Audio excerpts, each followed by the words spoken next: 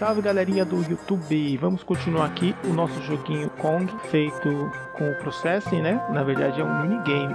Joguinho, aqueles minigames antigos. Bom, inicialmente aqui eu vou trocar tudo, né? Eu fiz a, uma mudança aqui nas posições das nossas imagens para ficar mais organizado. Agora as pontes vão ser quatro pontes, dois coraçõezinhos, a manivela, as chaves, a haste, a barra, o jogador, as bolinhas, o gancho e os kongs.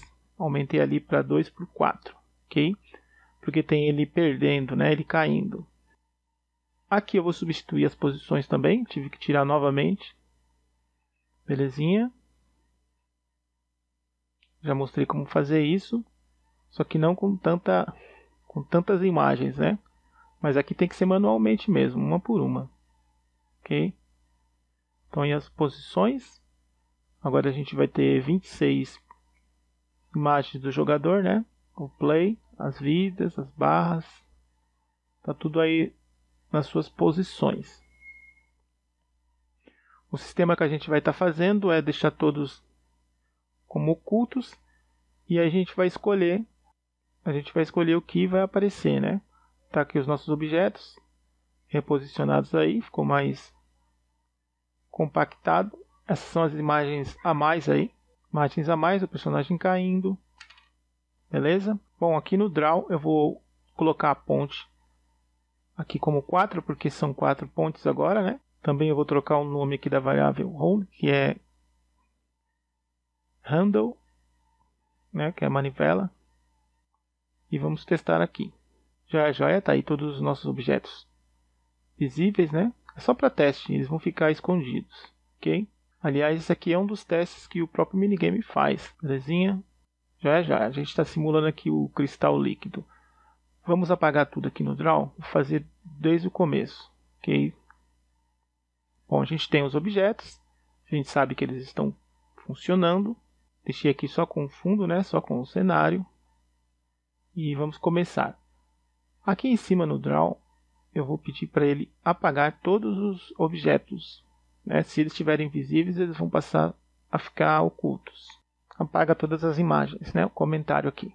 Vão ser 27 imagens, que é o número máximo, nosso contador ali. Belezinha. Aqui eu vou separar por quantidade. Quando for menor que 2, são essas aqui. A gente já fez isso no tutorial passado. Vamos estar tá só recapitulando aí, né? Quando for menor que 4. Quando for menor que 5. E beleza. Aqui eu vou deixar a ponte como visível. Ok? Ponte 0. Ponte 0.s igual a true. Aqui embaixo, depois que aparecer o cenário, o fundo, né? Eu vou estar tá exibindo os personagens. Coloco o last for novamente. Dessa vez eu vou utilizar o show para mostrar eles todos. Quando for menor que 2, quando for menor que 4 e quando for menor que 5. Fazer um teste aí. Tá aí as nossas pontes, né? Deixa eu para colocar aqui o, o i, porque eu só quero que mostre a primeira. Ok? Joia, joia. Só aparece a primeira agora. Vamos criar uma função de timer. Ela vai ser o nosso clock, né? O nosso contadorzinho. Que vai estar tá movimentando tudo aí, né? Vai estar tá animando os personagens. Tudo controlado pelo tempo.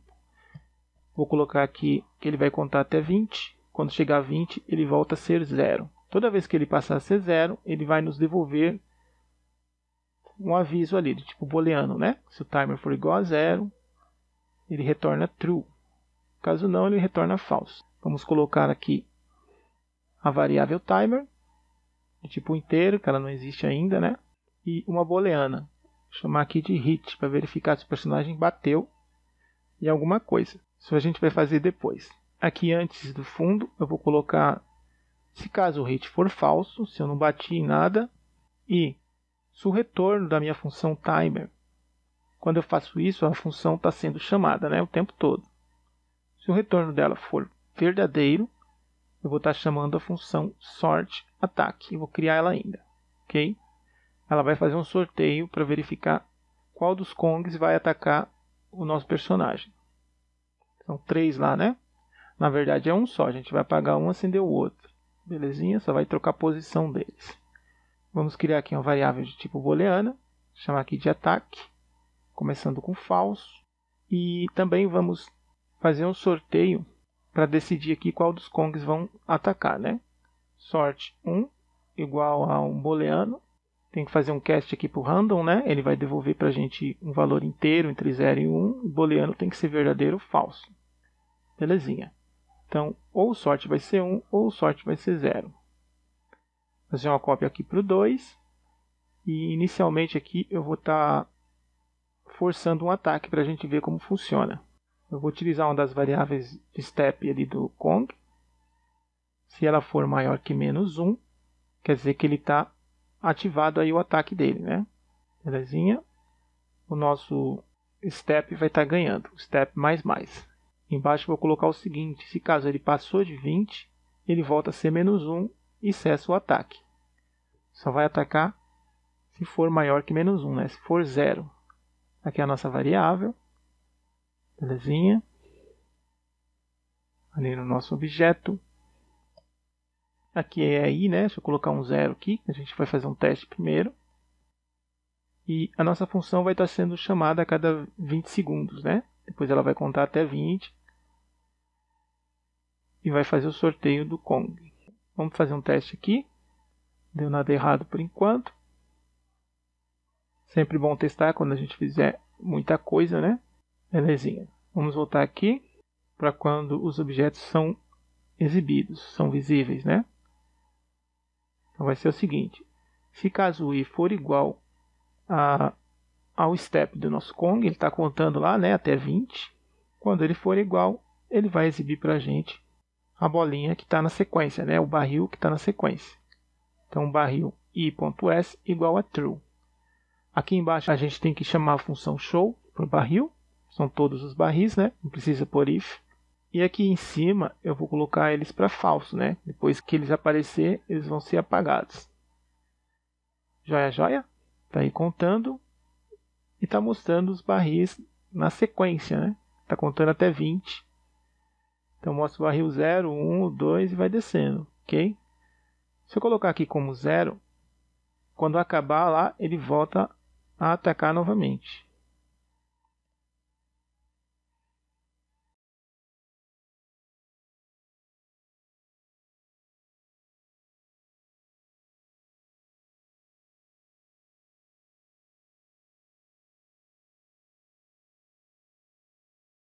Belezinha? Atacando novamente. Vai ficar fazendo isso sem parar. Bom, vou criar aqui uma variável de tipo inteira. Ela vai ser a, a seleção do nosso Kong, né? Qual dos três que vão atacar. Então vou colocar aqui k underline slc para simplificar, né? Aqui no nosso sort ataque, eu vou estar colocando todas as opções. Ali era só um teste. Então, o step chegou até 11, né? Apareceu o barril número 11 lá embaixo. Eu vou pedir para ele atacar novamente, para poder deixar bastante barril na tela. Bastante não, vão ser dois, né? Então, se o step 1 for igual a 11 ou o step 2 for igual a 11, o ataque vai ser verdadeiro. Deixa eu colocar só ATCK. Beleza, agora aqui embaixo, se o ataque for verdadeiro, né, o barril foi lá no 11, se o step 1 for igual a menos 1, né, ele está desativado, eu vou poder atacar com ele, é uma variável. Caso não, eu vou atacar com o step 2. Eles vão passar a ser 0, né? Começou, é maior que menos 1, eles atacam. Caso não, se o ataque não for verdadeiro, vou fazer o sorteio para escolher quem que vai ser o Kong que vai atacar, né? Vou estar tá animando ele também, ele vai estar tá se trocando aqui. A variável sorteada, se ela for 0 e o sort for verdadeiro, ele vai exibir o Kong número 1. Se ele tiver no Kong número 1, ele pode escolher entre o 2 e o 0. Se ele tiver entre o 2, ele só pode escolher os dois primeiros de trás. Já é joia? Bom, aqui em cima eu já vou completar, né? Vou colocar todas as opções. Se for o step 1 ou 2, eles vão estar ganhando. Se caso o Kong step 1 ou step 2 passar de 20, eles voltam a ser menos 1. E aqui eu vou colocar um last for contando até 3 para poder fazer isso para os três Kongs ao mesmo tempo. Vai estar tá contando se eles estão, se eles já jogaram o barril e se o barril já está lá na posição 11, que é tudo aí, né? I, que é step 2, step 2, que são todos I. Belezinha. Fechar aqui a chavinha, arrumar aqui o código. Beleza, está faltando um ponto e vírgula aqui. Joia, joia. Agora vamos aqui para cima e vamos fazer o ataque, né? Ele vai contar até 3. Caso o Kong sorteado for igual à posição I, é ele que vai aparecer. Vamos testar.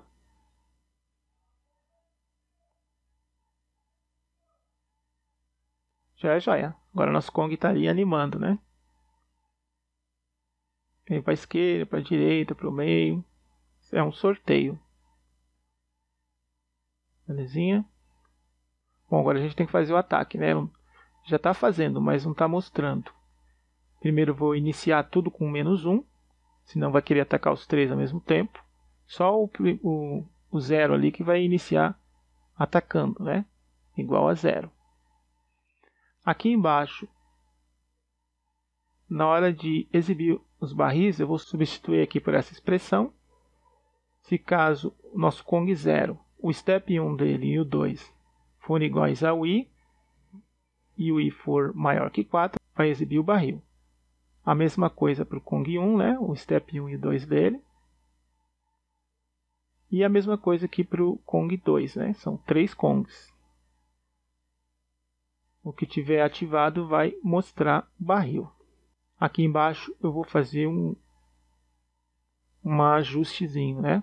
Um ajustezão, na verdade. Se caso for o i for menor que 2, coloquei o número 1 ali, mas é o i, né? Se aconteceu, quer dizer, ou é o Kong 0 ou o Kong 1. Os dois não precisa. Eu vou multiplicar ele. Se caso o step for igual a 2, e eu vou estar tá tirando das três dos três primeiros barris a posição do i. Depois eu vou explicar por que isso. Vou fazer a mesma coisa para o de baixo, porque eu só quero que mostre as primeiras bolinhas, os primeiros barris, quando for o último Kong. Quando for os dois Kongs primeiros, eu tenho que ajustar, né? Senão eles vão. Senão a contagem não vai dar certo. Porque ele está para frente. Joia, joia. Bom, aqui ele já funciona, né? Mas eu vou primeiro aqui no Kong Ataque. Quando a bolinha 10 for visível, eu quero que mostre o Kong levantando e tacando o barril. Então vou colocar essa expressão aqui. Vamos testar? Já é joia. Quando a bolinha chega no 10, o Kong faz o ataque. Ele troca a imagem. Bem bacana, né?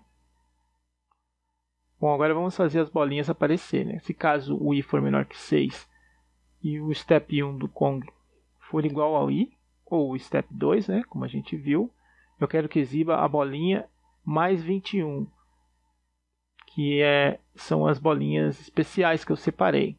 Né? Elas são diferentes do primeiro Kong. É essas daqui. 21, 22, 23, 24 e 25. Belezinha, ó. Agora ela aparece. Só nesse caso. Por isso eu fiz aquela expressão chata lá. Belezinha? Quando ele está no meio. Belezinha. Agora ele está atacando nas duas primeiras posições também. E a gente está vendo os barris vindo desde o começo, né? Bom, passando bastante coisa aí. Mais para frente a gente vai continuar esse tutorialzinho. Desculpa a demora aí, pessoal, que eu não estava muito bem. E continue assistindo aí. Até a próxima, galera. Quem gostou, dá um like e valeu!